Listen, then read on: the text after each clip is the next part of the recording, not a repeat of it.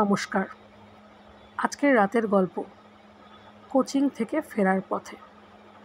বেশ কিছু ভৌতিক গল্প নিয়ে আমি চলছি তোমাদের সাথে শেয়ার করার জন্য। সেটি বেশ অন্ধকার রাত, তখন শীতকাল। অঞ্জন আর সুস্মিতা একই সাথে কোচিং থেকে ফিরছিল।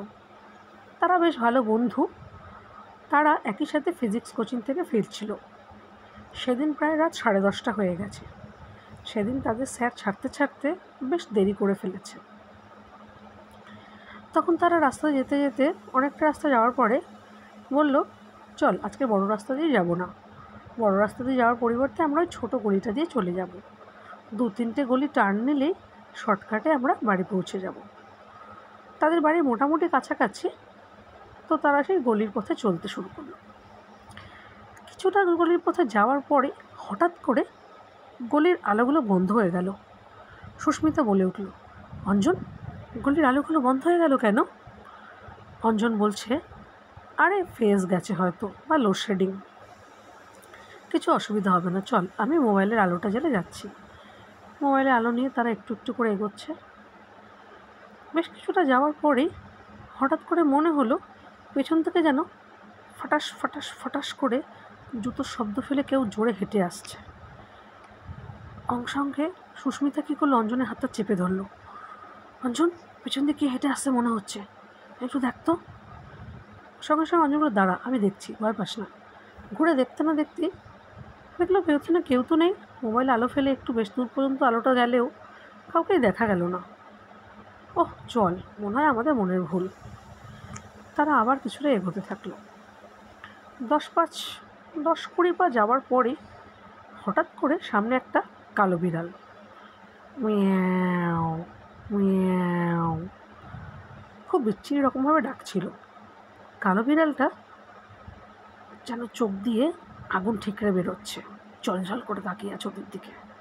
অঞ্জন বলছে, হাই হুস যা যা, হাই হুস যা। কিছুক্ষণ পরে বিড়ালটা চলে গেল। তারপরে যাচ্ছে, আবার এগোচ্ছে এগোচ্ছে এগোচ্ছে।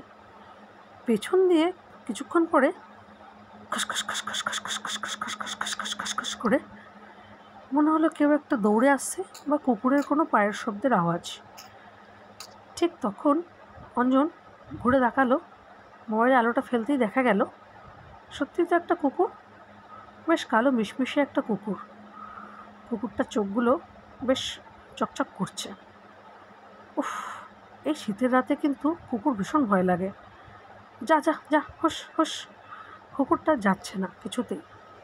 কীরকম জিভ ফেলে করছে।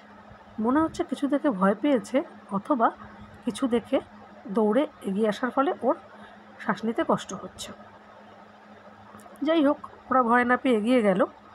এরপরে বেশ কিছুটা যেতে যেতে যেতে যেতে বলল, আর মনে হয় ভয় নেই। অনেকটা আগে যেতে যেতে দেখছে দূর থেকে সাদা কাপড় পরে একটা মেয়ে মুখে হাত দিয়ে এগিয়ে আসছে, সাদা চুড়িদার। তখন তাদের মনে হলো, এ কি? এই মেয়েটা কে? বলছে, দাদা, আমাকে বাঁচাও, দাদা বাঁচাও দাদা, বাঁচাও। বলছে, কেন? কে হয়েছে? তুমি কে? না না না, মুখ থেকে সে কিছুতেই হাত সরাতে চাইছে না।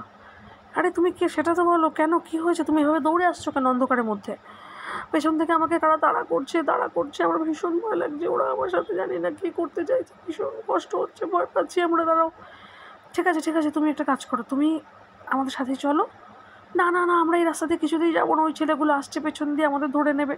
তোমরা ঠিক উল্টো দিকে চলো বাহা দিকে আমার রাস্তা দিয়ে গেলে আমার উল্টো দিকে বাড়ি পড়বে, চলো। তার আবার উল্টো দিকে আসতে বাধ্য হলো। কিছুটা আস্তে, আস্তেই তাদের মনে হলো পেছন দিক দিয়ে অনেকগুলো হাত এসে যেন তাদেরকে ছেঁকে ধরেছে। অন্ধকারের মধ্যে কালো কালো হাত। একেতেই গলিতে হালকা আলো, পৃথিবীর পৃথিবীর আলোতে যে একটু আলো দেখা যায় সেটুকুই, কিন্তু মনে হলো বেশ নিকশ কালো অন্ধকার, কালো হাত তাদের চারিদিকে। কীভাবে তারা বেরোবে বুঝতে পারছে না।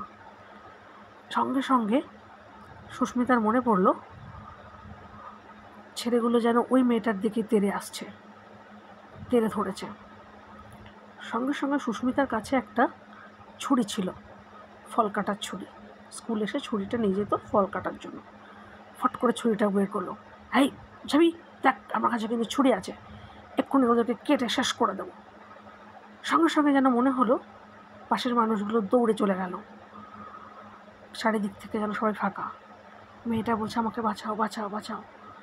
তারপরে মেয়েটা আস্তে আস্তে এগিয়ে গেল। আহ, চলে গেছে ওরা। আমার আর ভয়ের কোনো কারণ নেই। প্লিজ তোমাকে দেখো, ওই সামনে একটা সবুজ মতো বাড়ি। আমায় একটু এগিয়ে দাও গেট পর্যন্ত। আমি তোমাদের উপর খুব কৃতজ্ঞ। তারপরে তারা সবুজ মতো বাড়ির দিকে তাকে এগিয়ে দিল।